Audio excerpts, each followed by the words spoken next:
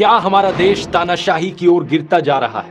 नहीं हमारा देश तानाशाही की ओर नहीं गिरता जा रहा है। ऑलरेडी हमारा देश तानाशाही की ओर गिर गया था 2014 के पहले। एक महीने पहले ये सवाल जब मैंने आप लोगों से पूछा था ज़ाहिर सी बात है बहुत से लोगों को शॉकिंग लगा था। शॉकिंग लगेगा शॉकिंग क्यों नहीं लगेगा?